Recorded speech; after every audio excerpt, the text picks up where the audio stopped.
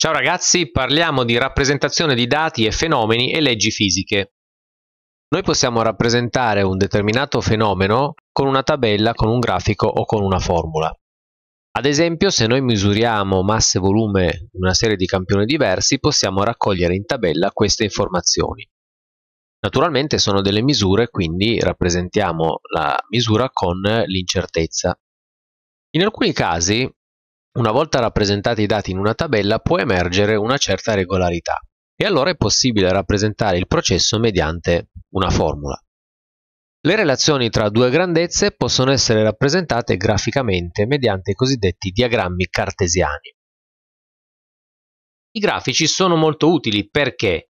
Perché permettono di visualizzare in modo abbastanza evidente la relazione tra due grandezze fisiche.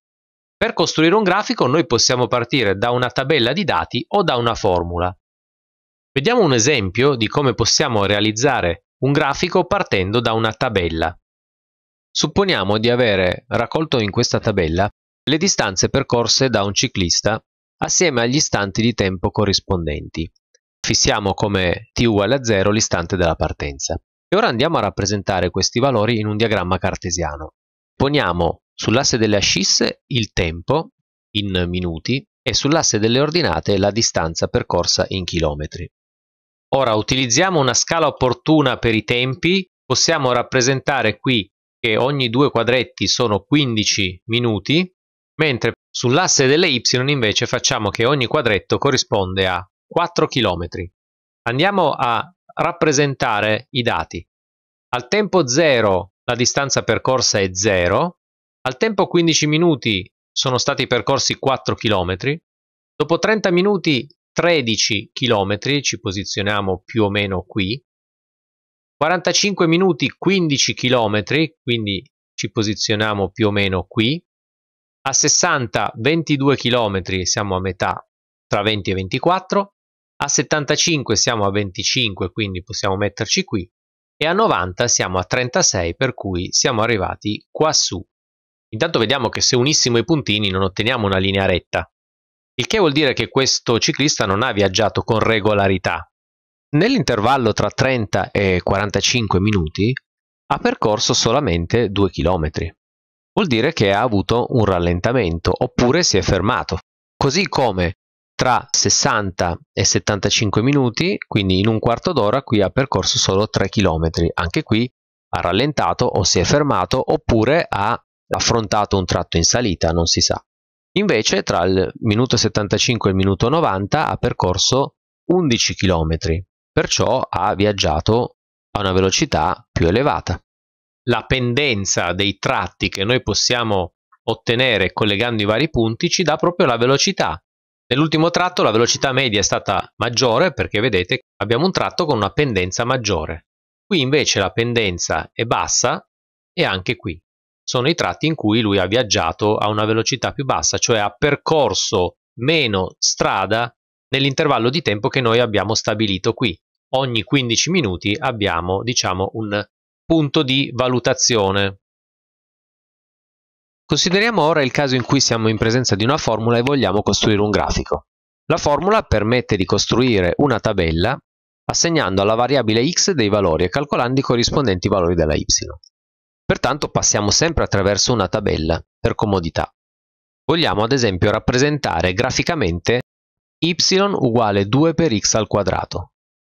Costruiamo una tabella con valori comodi della x che ci consentano di calcolare la corrispettiva y. Se io metto qui 0, vuol dire che nella x metterò 0, 2 per 0 fa 0. Se metto un mezzo, che cosa ottengo per y? Y è uguale a due volte un mezzo, attenzione però un mezzo è al quadrato perché qui c'è 2 per x alla seconda, quindi vuol dire 2 per un quarto che fa un mezzo. A questo punto se metto 1, 2 per 1 al quadrato fa 2, se metto 2 y è uguale a 2 per 2 al quadrato, che fa 8, spero che sia chiaro come sono stati ottenuti i valori di y, a questo punto noi abbiamo delle coppie di valori che rappresentano dei punti sul piano cartesiano. 0, 0 è l'origine, In corrispondenza di x uguale un mezzo cercherò y uguale un mezzo e così via. Il grafico che si ottiene è questo, l'ho ottenuto con un software. Vediamo che la curva passa per l'origine, 0, 0, poi quando x uguale a un mezzo, y uguale a un mezzo, quando x uguale a 1, y è uguale a 2, poi abbiamo il punto 2, 8, quindi 2, 8. Si potrebbe vedere cosa succede quando x uguale a 3, vedete che qui andiamo fuori dal grafico perché il valore è molto elevato. Infatti 3 alla seconda fa 9, 9 per 2 18. Parliamo ora della relazione che può esistere tra grandezze. Ad esempio parliamo di grandezze direttamente proporzionali. Due grandezze sono direttamente proporzionali se il loro rapporto è costante. Questo vuol dire che a raddoppiare di una grandezza anche l'altra raddoppia, al triplicare di una anche l'altra triplica e così via. Se una si dimezza, l'altra si dimezza.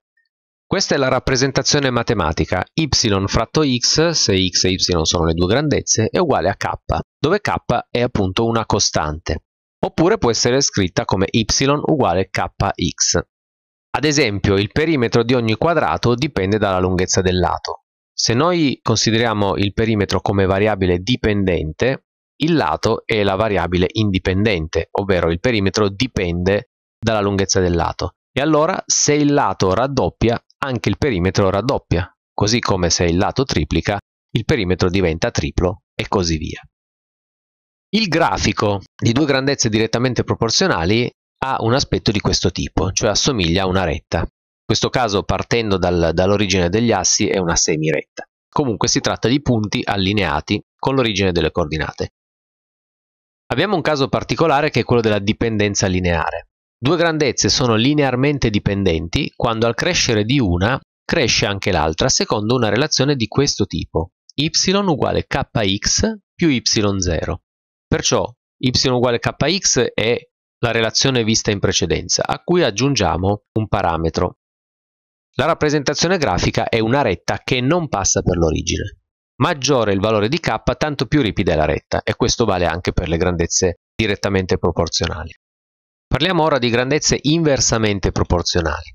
Due grandezze si dicono inversamente proporzionali se il loro prodotto è costante, x per y uguale k, oppure y uguale k fratto x. Supponiamo di avere un rettangolo e di variare la lunghezza di uno dei suoi lati, mantenendo costante l'area. Cosa succede all'altro lato? Beh, se l'area deve essere costante, sapendo che l'area di un rettangolo è data da dal prodotto tra i due lati, se un lato raddoppia l'altro dovrà dimezzarsi e così via. Qui è rappresentato in questa tabella il fatto che se ad esempio un lato che valeva 6 metri diventa 12, quindi raddoppia, l'altro lato per mantenere costante l'area sul valore di 24 da 4 deve diventare 2, quindi si è dimezzato. Se il nostro lato diventa 4 volte più grande, cioè da 6 passa a 24, l'altro lato diventa 4 volte più piccolo, cioè 4 diviso 4 che fa 1. Il grafico di due grandezze inversamente proporzionali è un ramo di iperbole, perciò ha una faccia di questo tipo. Vediamo l'esempio sulle grandezze inversamente proporzionali. Qui abbiamo un triangolo isoscele che ha area di 50 cm2. Supponiamo che la sua base x e la sua altezza y vengano fatte variare in modo che l'area rimanga costante e quindi ci troviamo qual è la relazione che lega x e y e qual è la rappresentazione grafica. Per trovare la relazione che lega x e y devo ricordarmi quanto vale l'area di un triangolo. L'area di un triangolo è base per altezza diviso 2 e lo rappresentiamo come appunto un mezzo, x è la base, y è l'altezza e il valore ci viene fornito 50. Come possiamo scrivere in modo alternativo questa uguaglianza? Moltiplicando qui per 2 e anche dopo l'uguale per 2, cioè a primo membro e a secondo membro, qui rimane xy e qui rimane 100, 50 per 2. E questa è la tipica legge che rappresenta due grandezze inversamente proporzionali. Se noi da questa relazione x per y uguale a 100 andiamo a sostituire alcuni valori, ad esempio se x uguale a 2, per ottenere 100 y dovrà valere 50, se x uguale a 5 per ottenere 100 y dovrà valere 20 e questi li possiamo poi rappresentare su un grafico. Concludiamo parlando di proporzionalità quadratica. Abbiamo che una grandezza y è direttamente proporzionale al quadrato di una grandezza x se il rapporto tra y e x quadro è costante. y fratto x al quadrato uguale k, oppure y uguale kx al quadrato. Cambia rispetto alla proporzionalità diretta semplicemente il fatto che al posto di x c'è x alla seconda. E la rappresentazione grafica è una parabola passante per l'origine degli assi e analogamente per la proporzionalità inversa al quadrato. In quel caso, cioè questo, sarà costante il prodotto tra x al quadrato e y. Oppure possiamo scriverla in alternativa come y uguale k fratto x al quadrato. Bene ragazzi, iscrivetevi al canale e attivate le notifiche così saprete quando usciranno i nuovi video.